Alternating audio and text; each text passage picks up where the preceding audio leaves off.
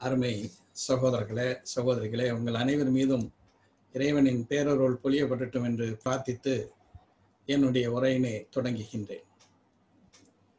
மிக முக்கியமான ஒரு காலகட்டத்தில் இந்த தன்னாட்சி அதனுடைய அவசியம் குறித்து தன்னாட்சியினுடைய தன்மைகளை குறித்து ஆயிரத்தி தொள்ளாயிரத்தி அறுபத்தி மூன்றிலேயே மா மாநிலங்களவை உறுப்பினராக இருந்தபோது பேரறிஞர் அண்ணா அவர்கள் மிக தெளிவான ஒரு முழக்கத்தை ராஜ்யசபாவிலே ஆற்றினார்கள். இந்தியாவே அந்த உரையை திருப்பி பார்த்தது. அதே போன்று ஆயிரத்தி தொள்ளாயிரத்தி அறுபத்தி ஒன்பதுல ஹோம் ரோல் என்ற பத்திரிகையில ஒரு உயிலாகவே தம்பிக்கு எழுதிய இறுதி கடிதத்துல அண்ணா அவர்கள் மிக தெளிவான கருத்துரைகளை எல்லாம் சொல்லி இருக்கின்றார்கள் எனவே மிக பொருத்தமாக பேரறிஞர் அண்ணா அவர்களை முன்வைத்து இது போன்ற ஒரு கருத்தரங்கத்தை இந்த சூழல்ல எல்லா அதிகாரங்களும் எங்களுக்கு தான் மாநிலங்களுக்கு எதுவுமே கிடையாது என்ற ஒரு நிலையை உருவாக்கி இருக்கக்கூடிய ஒரு காலகட்டத்தில் இந்த கருத்தரங்கம் நடைபெற்று வருவது மிக மிக முக்கியமானதாக இருக்கின்றது. அந்த சிறந்த முன்னெடுப்பை எடுத்ததற்காக அருமை சகோதரர் ஆலி செந்தில்நாதன் அவர்களுக்கும் அவர்களுடன் இணைந்து பணியாற்றக்கூடிய அனைத்து சகோதரர்களுக்கும் முதற்கண் மனிதநேய மக்கள் கட்சியின் சார்பாக என்னுடைய நெஞ்சார்ந்த நன்றியை தெரிவித்துக் கொள்கின்றேன். தொடக்கமாக அருமை சகோதரர் ஆலி செந்தில்நாதன் அவர்கள் விடுதலை விடுதலைக்கு முன்பு நடைபெற்ற சில நிகழ்வுகளை பற்றியெல்லாம் குறிப்பிட்டார்கள். அதுல மிகவும் குறிப்பாக ஒன்றை நான் இங்கே குறிப்பிட விரும்புகின்றேன். மலர்க மாநில சுயாட்சி என்ற பெயரில சிந்தனை செம்மல் கூசா ஆனந்தன் அவர்கள் மூன்று தொகுதிகளில் தன்னாட்சியை பற்றி விரிவாக எழுதியிருக்கின்றார்கள். சரியாக சொல்ல வேண்டும் என்றால் ஆயிரத்தி தொள்ளாயிரத்தி நாற்பத்தி ஆறாம் ஆண்டு ஏப்ரல் மூன்றாம் தேதி அந்த அமைச்சரவை துது தூதுக்குழுவிடம் இந்திய அரசமைப்பு சட்டம் உருவாக்க சில அடிப்படை கருத்துக்களை மோலானா ஆசாத் அவர்கள் வழங்குகிறார்கள். அதுல மோலானா ஆசாத் என்ன சொல்றாங்கன்னா நாட்டின் பாதுகாப்பு டிஃபென்ஸ் போக்குவரத்து டிரான்ஸ்போர்ட் மற்றும் வெளிநாட்டு கொள்கை ஃபாரின் அஃபேர்ஸ் ஆகியவை மட்டும்தான் மைய அரசின் அதிகாரத்துக்கு உட்பட்டவையாகும் இது தவிர ஒரு விருப்பு அதிகார பட்டியல் டிஸ்கிரிஷனரி லிஸ்ட் என்று குறிப்பிடார் இருக்கும். அந்த விருப்ப அதிகார பட்டியலில் உள்ள அதிகாரங்களை மாகாணங்கள் மாகாணங்கள் என்று அந்த அந்த காலகட்டிய காலகட்ட வார்த்தையை பயன்படுத்துகிறார். இப்போது நாம் மாநிலங்கள் என்று சொல்லலாம். அந்த விருப்ப அதிகார பட்டியலில் உள்ள அதிகாரங்களை மாநிலங்கள் வைத்துக் கொள்வதா அல்லது மத்திய அரசிற்கு அதை அளிக்க வேண்டுமா என்பதை பற்றி ஒரு கேள்வி எழுகிறது. அதை பற்றி மௌலானா ஆசாத் என்ன குறிப்பிட்டிருக்கிறார் என்றால் மாநிலங்கள் விரும்பி மத்திய அரசுக்கு மைய அரசுக்கு ஒப்படைத்த அதிகாரங்கள் தவிர மற்ற அதிகாரங்கள் அனைத்தும் மாநிலங்களின் அதிகாரத்துறைக்கே சேரும் என்பதே என்னுடைய திட்டம் என்று குறிப்பிடுகின்றார். இந்த திட்டத்தை முன்வைத்த பிறகு காங்கிரசினுடைய காரிய கமிட்டி கூடுகிறது. ஆயிரத்தி தொள்ளாயிரத்தி நாற்பத்தி ஆறாம் ஆண்டு ஏப்ரல் பனிரெண்டாம் தேதி கூடுகிறது. இதை பற்றி இந்தியா விடுதலை வெற்றி இந்தியா வின்ஸ் ஃப்ரீடம் என்ற தன்னுடைய ஆட்டோபயோகிராஃபியில சுய வாழ்க்கை வரலாற்றில் ஆசாத் அவர்கள் குறி குறிப்பிடுகிறார். நான் வந்து மந்திரி சபை தூதுக்குழுவிடம் எடுத்து வைத்த விஷயங்களை பற்றியெல்லாம் நான் அங்கே எடுத்துரைத்தேன். அப்போது அந்த காரிய கமிட்டியில காந்தியடிகளும் இருந்தார்கள். அப்போது காந்தியடிகள் நான் சொன்ன அனைத்து விஷயங்களையும் எடு கேட்டுவிட்டு காந்தியடிகள் என்ன சொன்னார் தெரியுமா? அதுவரை எவராலும் ஆலி செந்தில்நாதன் அவர்கள் குறிப்பிட்டார்கள் அல்லவா? அந்த விடுதலைக்கு முன்பு முஸ்லிம்களுக்கும் மற்றவர்களுக்கும் இருந்ததாக சொல்லப்படக்கூடிய அந்த பிரச்சனை. அந்த பிரச்சனைய எவராலும் வழிகாண முடியாத இருந்த வந்த ஒரு பிரச்சனைக்கு ஆசாத் அவர்களே நீங்கள் நல்ல தீர்வை கண்டுவிட்டீர்கள் என்று காந்திஜி என்னை பாராட்டினார் ஆசாத் குறிப்பிடுகிறார். இந்தியா போன்ற நாட்டில் பெடரல் கூட்டாட்சி அரசியல் அமைப்பு தான் செயலாற்றக்கூடியது என்று காந்திஜி நிச்சயமாக நம்பினார். எனவே அந்த காரிய கமிட்டியில பலர் வல்லபாய் பாய் பட்டேல் போன்றவர்கள்லாம் மூன்றே மூன்று அதிகாரங்கள் மட்டும்தான் மத்திய அரசுக்கு தான் மற்றதெல்லாம் கிடையாதா என்று சொல்லும்போது அனைத்துக்கும் காந்தியடிகள் மிக தெளிவாகவே பதில் சொன்னார் என்பதை ஆசாத் அவர்கள் இந்தியா விடுதலை வெற்றி என்ற தன்னுடைய சுயசரிதத்துல குறிப்பிட்டிருக்கின்றார். இன்றைக்கு எந்த நிலையில வாழ்ந்து கொண்டிருக்கின்றோம்? ஆயிரத்தி தொள்ளாயிரத்தி அறுபத்தி ஒன்பதுல ஆயிரத்தி தொள்ளாயிரத்தி அறுபத்தி மூன்றுல ஜனவரி இருபத்தைந்தாம் தேதி மாநிலங்களவையில பேரறிஞர் அண்ணா அவர்கள் ஆற்றிய உரையில ஒரு இடத்துல சொல்கிறார் மாநிலங்கள் சுங்கத்தொகை வசூலிக்கக்கூடிய சாதாரண நகராட்சி மன்றங்களைப் போல் விரைந்து மாறி வருகின்றன. அவை இருக்கும் இடம் தெரியாமல் பின்னணிக்கு தள்ளப்பட்டுள்ளன. என்று பேரறிஞர் அண்ணா அவர்கள் ஆயிரத்தி தொள்ளாயிரத்தி அறுபத்தி மூன்று ஜனவரி இருபத்தஞ்சுல குறிப்பிடுகிறார். அப்போதே அண்ணா அவர்கள் வாஸ் அ விஷனரி ஒரு தொலைநோக்கு பார்வையில அவர் சொன்னது இன்று மத்தியில இருக்கக்கூடிய பாஜக ஆட்சியில அமலாகி வரக்கூடிய ஒரு சூழலை பார்க்கின்றோம். இந்த நிலையில தான் திராவிட முன்னேற்ற கழகத்தினுடைய பொதுக்குழு நவம்பர் பத்து இரண்டாயிரத்தி பத்தொன்பதுல கூடுகிறது. அப்போ அந்த திராவிட முன்னேற்ற கழகத்தினுடைய பொதுக்குழுவுல ஒரு முக்கியமான ஒரு தீர்மானத்தை நிறைவேற்றி இருக்கின்றார்கள். அந்த தீர்மானம் அதற்கு இந்த பொதுக்குழு நடைபெறுவதற்கு சில நாட்களுக்கு முன்பு ஆர்எஸ்எஸ்னுடைய தலைவர் மோகன் பகவத் ஒரு கருத்தை சொல்லியிருக்கின்றார். அந்த கருத்தின் அடிப்படையில அந்த தீர்மானம் நிறைவேற்றப்படுகிறது. திராவிட முன்னேற்ற கழகத்தினுடைய தீர்மானம் சொல்கிறது இந்தியாவை இருநூறு ஜன்பட்டுகளாக அதாவது மாநிலங்களையும் மாவட்டங்களையும் ஒழித்துவிட்டு இருநூறு ஜன்பத்துகளாக உருவாக்கக்கூடிய ஒரு திட்டத்தை அமல்படுத்த போகின்றார்கள். அதுதான் ஆர்எஸ்எஸ்னுடைய திட்டமாக இருக்கின்றது.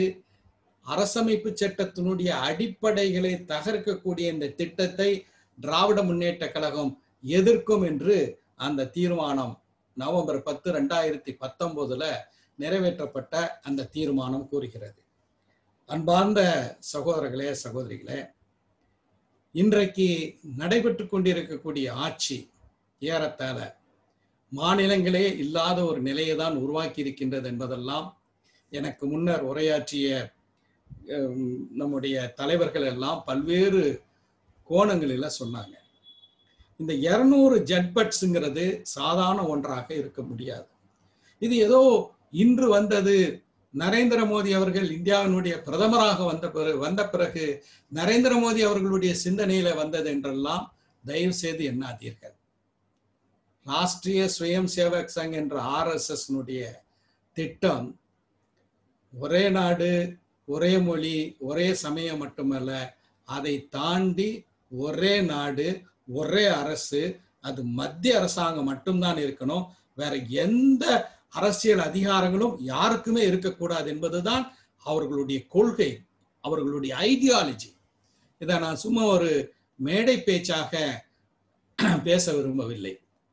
ஆயிரத்தி தொள்ளாயிரத்தி ஐம்பத்தி நாலுல மும்பாயில ஆன்டி ஃபெடரலிசம் கான்ஃபரன்ஸ் கூட்டாட்சி தத்துவத்துக்கு எதிரான ஒரு மாநாடு நடைபெறுகிறது. அந்த மாநாட்டில் அன்றைய ஆர்எஸ்எஸ்னுடைய தலைவர் குருஜி என்று அவர்களால் அழைக்கப்படக்கூடிய மாதவ் சதாசிவ் கோல்வார்கர் பேசுகிறார். அவர் சொல்கிறார் India should have central rule and from administrative point of view states should be administered territories என்று சொல்கிறார். அதாவது இந்தியாவில் ஒரே ஒரு மத்திய ஆட்சி மட்டும்தான் இருக்கணும் இருக்க வேண்டும். மற்ற மாநிலங்கள் எல்லாம் நிர்வாகம் செய்யப்படக்கூடிய பிரதேசங்களாக மாற்றப்பட வேண்டும் என்று கோல்வார்க்கர் சொல்கிறார். இதை கேட்கும்போது நிச்சயமாக ஆகஸ்ட் ஐந்தை நாம் மறக்க முடியாது.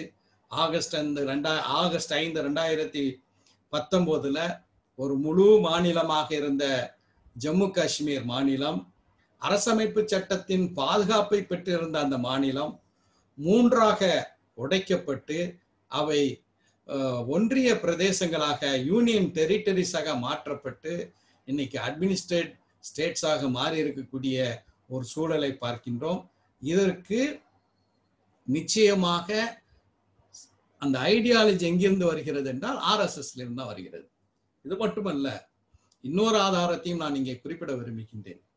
சிந்தனை கொத்து தமிழிலே மொழிபெயர்த்திருக்கிறார்கள். கோல்வார்க்கர் எழுதிய புத்தகம் பஞ்ச் ஆஃப் தாட்ஸ் அதுல ஒரு முழு அத்தியாயம் வாண்டட் யூனிட்டரி ஸ்டேட் ஒற்றை அரசு வேண்டும் என்ற தலைப்புல அந்த ஒரு அத்தியாயத்துல கோல்வார்க்கர் எழுதுகிறார். நமது நாட்டின் அரசமைப்பு சட்டத்தில் குறிப்பிடப்பட்டுள்ள கூட்டாட்சி முறை குறித்த உரையாடலை ஆழமாக புதைப்பதுதான் மிக முக்கியமான வலுவான நடவடிக்கையாக அமையும். ஒரு நாட்டிற்குள் அதாவது பாரதத்திற்குள் இருக்கும் சுயாட்சி பெற்ற அல்லது ஓரளவு சுயாட்சி உள்ள மாநிலங்களை ஒழிக்க வேண்டும். அது ஆயிரத்தி தொள்ளாயிரத்தி ஐம்பத்தி நாலுல ஸ்டேட் ஷுட் பி அட்மினிஸ்ட்ரேட்டட் டெரிட்டரின்னு சொன்னவர். அதற்கு பிறகு அவர் எழுதக்கூடிய இந்த பஞ்ச் ஆஃப் தாட்ஸ்ல மாநிலங்களை ஒழிக்க வேண்டும். ஒரே நாடு ஒரே அரசு ஒரே சட்டமேற்றும் அவை ஒரே நிர்வாகம் என்பதை பிரகடனம் செய்ய வேண்டும். மொழி ரீதியாகவோ அல்லது வேற எந்த அடிப்படையிலோ அல்லது பகுதி வாரியான பெருமையை நிலைநாட்டும் வகையிலான நமது ஒன்றுபட்ட இணக்கத்திற்கு பங்கு விளைவிக்கும் எந்தவித தனித்தன்மையின் சுவடே இல்லாமல் அழிக்க வேண்டும். இன்றைக்கு ஒரே நாடு ஒரே ரேஷன் அட்டை ஒரே நாடு ஒரே கல்வி திட்டம் ஒரே நாடு ஒரே வரி இதையெல்லாம் கொண்டு வந்திருக்கிறார்கள் என்றால் அது ஏதோ நரேந்திர மோடி என்ற ஒரு தனி மனிதர் செய்யக்கூடிய வேலையாக செய்ய நாம் நிச்சயமாக எடுக்கக்கூடாது. வாட் இஸ் டிரைவிங் தட் அது எது அதை ஊக்குவிக்கின்றது என்றால் அவர்களுடைய ஐடியாலஜி கோல்வார்க்கருடைய சிந்தனைகள் என்பதை நாம் மறக்கக்கூடாது. இன்னொன்றையும் இறுதியாக நான் இது தொடர்பாக ஆர்எஸ்எஸ் கருத்து தொடர்பாக சொல்லிக்கொள்ள விரும்புகின்றேன். ஆயிரத்தி தொள்ளாயிரத்தி அறுபத்தி ஒன்று ஒன்றில் தேசிய ஒருமைப்பாட்டு குழு கூட்டம் நடைபெறுகின்றது. அந்த ஒருமைப்பாட்டு குழு கூட்டத்துல அதற்கு ஒரு கடிதத்தை அனுப்புகிறார். கோல்வார்கர். அவர் என்ன சொல்கிறார் என்றால் today's federal form of government not only gives birth but also nourishes the feelings of separatism in a way it refuses to recognise the fact of one nation and destroys it it must be completely uprooted constitution purified and unitary form of government established அதாவது இன்றைய இந்த கூட்டாட்சி தத்துவம் இந்த கூட்டாட்சி தத்துவம் என்று சொல்லக்கூடியதுல எத்தனை ஓட்டைகள் இருக்கின்றது என்பதை பேரறிஞர் அண்ணா அவர்களுடைய உரைகளை நம்ம படிக்க முடிகின்றது. ஆனா அதையும் தாண்டி அப்படிப்பட்ட ஒரு கூட்டாட்சி கூட இருக்கக்கூடாது. காரணம் அது இந்த நாடு ஒரே நாடு என்பதை அங்கீகரிக்கிறதுக்கு மறுக்கின்றது. It should be completely uprooted மொத்தமாக அதை தொடைத்து தூக்கி எறிய வேண்டும். அரசமைப்பு சட்டத்தை தூய்மைப்படுத்த வேண்டும். ஒற்றை அரசு முறையை கொண்டு வர வேண்டும் என்று கோல்வார்கர் பேசிய இந்த பேச்சை தெளிவாக நாம் உணர வேண்டும். இரண்டாயிரத்தி பத்தொன்பதுல மீண்டும் நரேந்திர மோடி அவர்கள் பிரதமராக வந்தபோது நாடாளுமன்ற உறுப்பினர்களுக்கெல்லாம் தெரியும் இங்கே அமர்ந்திருக்கின்றீர்கள். அவர் முதல் முறையாக நாடாளுமன்றத்துக்கு பிரத ரெண்டாயிரத்தி பதினாலில் தேர்ந்தெடுக்கப்பட்ட போது நாடாளுமன்ற வாயிலிலே விழுந்து கும்பிட்டு உள்ளே சென்றார் என்பது அனைவருக்கும் தெரியும். இரண்டாவது முறையாக அவர் பிரதமராக தேர்ந்தெடுக்கப்பட்ட பிறகு அரசமைப்பு சட்டத்திற்கு ஒரு பெரிய கும்பிட்டு போட்டு தன்னுடைய பணிகளை தொடங்கினார். பதவி பிரமாணத்தை ஏற்றுக்கொண்டார் என்பதெல்லாம் நம்முடைய நாம் உலகம் நாம் காணொளி வாயிலாக பார்த்தோம். ஆனால் இப்படி ஒரு சல்யூட்டை போட்டுட்டு ஒரு கும்பிட போட்டுட்டு அரசமைப்பு சட்டத்தினுடைய அனைத்து மாண்புகளையும் உடைக்கக்கூடிய பல்வேறு விஷயங்களை செய்திருக்காங்க. சென்ற குளிர்காட் கால கூட்டத்தொடர் நாடாளுமன்றத்தில் அதாவது ரெண்டாயிரத்தி பத்தொன்பதுல முப்பத்தைந்து மசோதாக்கள் நிறைவேற்றப்பட்டன. அந்த மசோதாக்கள் ஒவ்வொன்றையும் பார்க்கும்போது அதுல மாநிலங்களுடைய உரிமைகளை தெளிவாக அவர்கள் வந்து சிதைத்திருக்கிறார்கள். உதாரணத்திற்கு சுருக்கமாக சிலவற்றை மட்டும் சொல்ல விரும்புகின்றேன். National Investigation Agency Act NIA Act அது வந்து லோக்சபால ஜூலை பதினைந்தாம் தேதியும் அதே போல மாநிலங்களவையில இர ஜூலை பதினேழாம் தேதியும் அந்த சட்டம் ஏற்றப்பட்டது. இந்த சட்டத்துல வந்து என்ன சொல்லுதுன்னா ஆள் கடத்தல் கள்ள நோட்டு அச்சடிப்பது அதே போல தடை செய்யப்பட்ட ஆயுதங்களை தயாரிப்பது அல்லது விற்பனை செய்வது. அதே போல இணையவழி சைபர் டெரரிசம் இணையவழி பயங்கரவாதம். அதே போல அஹ், வெடிமருந்துகள் பொருள் அஹ், சட்டம் ஆயிரத்தி தொள்ளாயிரத்தி எட்டு. இவையெல்லாம் மாநில காவல்துறையினுடைய விசாரணை அதிகாரத்திற்கு உள்ளப்பட்டு உட்படுத்தப்பட்டது. அந்த என்ஐஏ ஆக்டினுடைய மூன்றாவது பிரிவை அமெண்ட் செய்து அதை திருத்தி மாநில காவல்துறைக்கு தெரியாமையே அவர்களுடைய உரிமையில தலையிட்டு அத்துணை அதிகாரங்களையும் அதாவது பவர்ஸ் டியூட்டிஸ் ப்ரிவிலேஜஸ் லயபிலிட்டிஸ் மாநில காவல்துறை அதிகாரிகளுக்கு இருந்த அத்துணை அதிகாரங்களும் என்ஐஏக்கு கொண்டு போகக்கூடிய ஒரு சட்டம் அமைக்கப்பட்டது. எங்கே இருக்கின்றது? கூட்டாட்சி தத்துவம் அடுத்தது யுஏபிஏ சட்டம் unlawful activities prevention act August ரெண்டாம் தேதி அந்த சட்டம் நிறைவேற்றப்பட்டது. அந்த சட்டத்தில் வந்து என்னன்னா ஒரு மாநிலத்தில் இருக்கக்கூடிய ஒரு ஒருவருடைய ஒரு பயங்கரவாதி என்று அறிவிக்கப்பட்டவருடைய ஒரு சொத்தை அபகரிக்க அதாவது கையகப்படுத்த வேண்டும் என்றால் மாநில அரசாங்கத்தினுடைய எழுத்துப்பூர்வமான ஒப்புதல் பெற வேண்டும். ஆனால் இந்த யுஏபிஏல கொண்டு வரப்பட்டிருக்கின்ற இந்த திருத்தத்தின் அடிப்படையில மாநில அரசாங்கத்தினுடைய எழுத்துப்பூர்வமான ஒப்புதல் இல்லாமலேயே சென்ட்ரல் ஏஜென்சிஸ் அதாவது மத்திய காவல்துறையினர் மத்திய நிறுவனங்கள் அது பல்வேறு நிறுவனங்கள் இந்த சொத்துக்களை எல்லாம் கையகப்படுத்தலாம் என்ற ஒரு சட்டத்தை நிறைவேற்றியிருக்கின்றார்கள். அடுத்து தகவல் பெறும் உரிமை சட்டம். அந்த தகவல் பெறும் உரிமை சட்டத்துல பல பல திருத்தங்களை எல்லாம் கொண்டு வந்தார்கள். அது மத்திய அரசாங்கத்தில் உள்ள அதிகாரம். சீஃப் இன்ஃபர்மேஷன் கமிஷனர் வந்து தேர்தல் ஆணையருக்கு இணையான ஒரு நிலையில இருந்தால் அதையெல்லாம் குறைச்சிட்டாங்க. ஆனா அதே நேரத்துல மாநிலத்துல வந்து இருக்கக்கூடிய மாநில த தலைமை தேக தகவல் ஆணையாளர் மாநில தேர்தல் ஆணையாளருக்கு நகராட்சி உள்ளாட்சி தேர்தல்களை நடத்தக்கூடிய அந்த ஆணையாளருக்கு சமமான பொறுப்புல இருந்ததை வந்து திருத்திவிட்டு அவர்கள் எவ்வளவு காலம் இருப்பார்கள் அவர்களுடைய ஊதியம் என்ன எல்லாவற்றையுமே நிர்ணயிக்கக்கூடிய அதிகாரத்தை மத்திய அரசு கையகப்படுத்தக்கூடிய அளவுக்கு ஆர்டிஐ ஆக்ட்லையும் ஒரு திருத்தம் கொண்டு வரப்பட்டது. அடுத்து மிக முக்கியமானது வந்து அணைகள் பாதுகாப்பு சட்டம். அது நாடாளுமன்றத்தினுடைய மக்களவையில் ஜூலை இருபத்தி ஒன்பதாம் தேதி அறிமுகப்படுத்தப்பட்டது. அந்த அணைகள் பாதுகாப்பு சட்டத்தில் மிக தெளிவாக மாநிலங்களுக்கு இருந்த உரிமைகளை மத்திய அரசு national committee on dam safety அணைகள் பாதுகாப்புக்கான தேசிய ஆணையத்துக்கு மாநில அரசுக்கு இருந்த அதிகாரத்தை மாற்றக்கூடிய அளவுக்கு அதுல திருத்தம் கொண்டு வரப்பட்டிருக்கு. உதாரணமா சொல்லணும்னா முல்லை பெரியாறு தொடர்பாக தமிழ்நாடு வந்து கேரளால இருக்கக்கூடிய ஐந்து அணைகள் மீது அதிகாரம் இருக்கின்றது. இது வந்து இப்போது இந்த திருத்தத்தின் காரணமாக இது மத்திய அரசுக்கே போகக்கூடிய ஒரு சூழலை பார்க்கின்றோம். உங்களுக்கு எல்லாம் தெரியும் ரெண்டாயிரத்தி பதினாலில் திட்ட ஆணையம் ஒழிக்கப்பட்டு நிதி ஆயோக் கொண்டு வரப்பட்டது. அந்த நிதி ஆயோக்கின் மூலமாக ஜிஎஸ்டியில் ஒரு வீட்டோ பவரை கொண்டு வந்து அனைத்தும் மத்திய அரசுக்கே ஒன்று என்ற ஒரு நிலையும் இன்றைக்கு ஜிஎஸ்டிக்கு எங்கள் பங்களிப்பை தாருங்கள் என்று மாநிலங்கள் தங்களுடைய பங்களிப்பை மத்திய அரசாங்கத்திடம் கேட்கக்கூடிய பிச்சைக்காரர்களாக கான்ஸ்டிடியூஷன் அப்படியே இருக்கு. அதுக்கு ஒரு பெரிய கும்பிட்டு போட்டு அதனுடைய அடிப்படை அடிப்படைகளை தகர்க்கக்கூடிய பணியை இந்த இப்போது மத்தியில் இருக்கக்கூடிய பாஜக ஆட்சி கொண்டு வந்திருக்கின்றது என்பதெல்லாம் உங்களுக்கு தெரியும். அதே போல மின்சார திருத்த சட்டம் ரெண்டாயிரத்தி இருபது.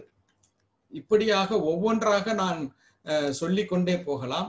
எனக்கு முன்னர் நம்முடைய முனைவர் ரவிக்குமார் அவர்கள் என்இபியை பற்றி அதாவது நேஷனல் எஜுகேஷன் பாலிசி டுவெண்ட்டி டுவெண்ட்டின்னு சொல்றாங்க. அதை நம்ம தான் புதிய கல்விக் கொள்கைன்னு சொல்றோம். அவர்கள் தேசிய கல்விக் கொள்கை என்று சொல்றதுலேயே அதில் ஒரு சூட்சமம் இருக்கின்றது. தேசிய கல்விக் கொள்கை என்று சொல்லிட்டு நாடு முழுவதும் ஒரே கல்விக் கொள்கை தாங்கிறது தான் என்பதற்கான அடித்தளம் தான் அது. ஜிஎஸ்டியை கொண்டு வந்தார்கள். மாநிலங்களுடைய நிதி அமைச்சர்களுக்கு ஃபினான்ஸ் மினிஸ்டர் ஆஃப் ஸ்டேட் ஒரு மாநிலத்தினுடைய நிதி அமைச்சருங்கிறது இப்போ ஒரு அலங்கார பதவி தான் அதே மாதிரி இப்போது என்இஏ கொண்டு வந்து மாநிலத்தினுடைய கல்வி அமைச்சர் அவர் தமிழ்நாட்டில் இருப்பது போல உயர்கல்வி அமைச்சர்னு நம்ம சொல்லிக்கலாம் பள்ளி கல்வி அமைச்சர்னு சொல்லிக்கலாம். அவங்களுக்கான அதிகாரங்களும் பறி போய் அதிகாரங்களை பறித்திருக்கின்றோம் என்பதற்கு ஆதாரமாகத்தான் ஆளுநர்களை மட்டும் வைத்துக்கொண்டு இது குறித்து பேசக்கூடிய ஒரு நிலை என்பது எவ்வளவு அபாயகரமானது என்பதை தெளிவாக நாம் புரிந்து கொள்ள வேண்டும். எனவே இந்த சூழல்ல தன்னாட்சி என்பது மாநில சுயாட்சி என்பது மிக மிக அவசியமான ஒன்றாக இருக்கின்றது. இன்றைக்கு ஊடகங்களுக்கு கங்கனா ராவத் மேல உள்ள வழக்குகளும் அதே போல ரியா சௌத்ரியுடைய வழக்குகளும் இதுதான் தலைப்பு செய்திகளாக வருகின்றது.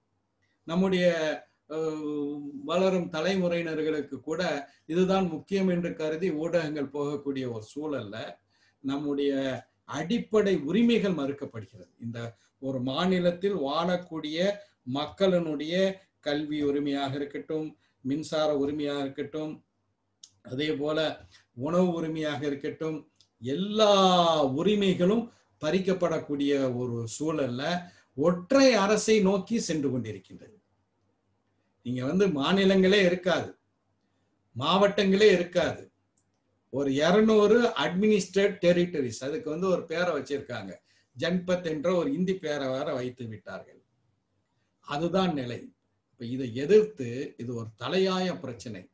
நீட்டாக இருக்கட்டும் புதிய கல்விக் கொள்கையாக இருக்கட்டும் இன்னும் எத்தனை திட்டங்களை இந்த மோடி அரசு கொண்டு வருகிறதோ அதற்கு அடிப்படை மாநிலங்களுக்கு எந்த அதிகாரமே இருக்கக்கூடாது என்ற ஒரு நிலைதான் இது மிக மிக மோசமானது. இதை பற்றி பேரறிஞர் அண்ணா அவர்கள் தன்னுடைய உயிலிலே அதாவது ஆயிரத்தி தொள்ளாயிரத்தி அறுபத்தி ஒன்பதுல ஹோம் ரூல் பத்திரிகையில எழுதிய அந்த விடியலே வாழ்க அப்படின்று என்ற தலைப்புல கடைசியாக அவர் சொல்கிறார் சிந்திக்கும் ப ஆற்றல் படைத்த மக்களின் கவனத்திற்கு கொண்டு வர முடியுமெனில் உண்மையில் அதுவே நாம் அரசியல் உலகிற்கு செலுத்திய உரிய பங்காகும் என்று குறிப்பிடுகிறார். இவ்வளவு விஷயங்களை வெகுஜன மக்களுக்கு இளைஞர்களுக்கு எப்படி இந்த ஆட்சி மத்தியில் இருக்கக்கூடிய பாஜக ஆட்சி ஆர்எஸ்எஸ் ஆட்சி இந்தியாவை மாற்றி அமைப்பதற்கு மாநிலங்களுடைய உரிமைகளை நசுக்குவதற்கு நம்மை ஒரு வகையில மீண்டும் கொத்தடிமைகளாக மாற்றுவதற்கு திட்டமிட்டிருக்கின்றது என்ற செய்தியை கொண்டு செல்ல வேண்டும். அந்த பணியில நிச்சயமாக களத்தில் உங்கள் அனைவருடனும் மனிதநேய மக்கள் கட்சியும் முன்னணியிலே நிற்கும் என்று சொல்லி இந்த வாய்ப்பை தந்தமைக்காக என் நெஞ்சார்ந்த நன்றியை தெரிவித்து விடைபெறுகின்றேன். நன்றி.